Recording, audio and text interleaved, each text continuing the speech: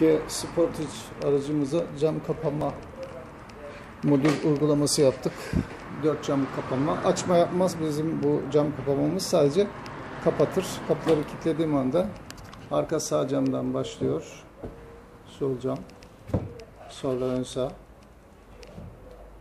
Bir saniyede sonra şoför camı kendine kapatır. Evet, işlem bu kadar. Sadece kapatmadır. Bu cam kapama modülümüz açma değildir.